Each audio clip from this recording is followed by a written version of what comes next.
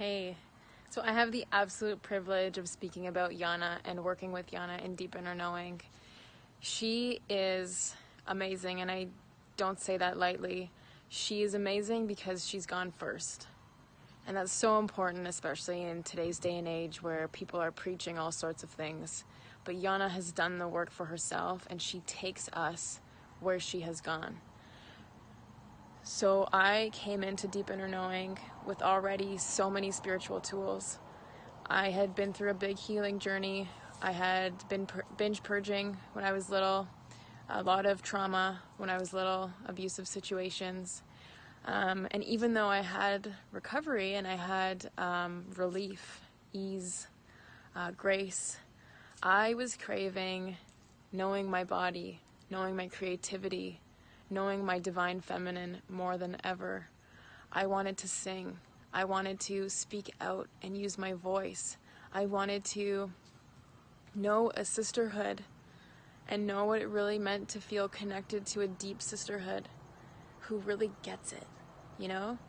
Not these bullshit conversations anymore, not this like fake shit. It's like we are here, you know, because we are being called to help humanity level up and Yana has gone first. She has created a space where we can rise into it and become our own divine goddesses.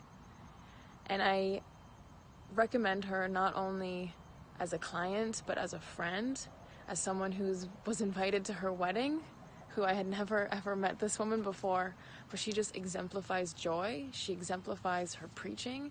She exemplifies deep inner knowing of herself. And she has a big calling on her life to help as many women as possible rise into this truth and rise into their fullest potential. My life now is more aligned than ever. I'm currently in California building my platform to help women with binge eating and toxic thinking and how to overcome that with the right tools. I help people with nutrition and healing their bodies. I sing. I've already done a few shows. Um, you know, it's like, what happened? And it's the energetic shifts. My relationship with my parents is being healed. You know, and you can say, oh, well, maybe she did that herself. Yes, but I did it because I said yes to a number of things, and saying yes to deep inner knowing was one of those things. And I love her. I love her, I love her, I love her. I love her. So I hope that you all take the leap. It's worth it.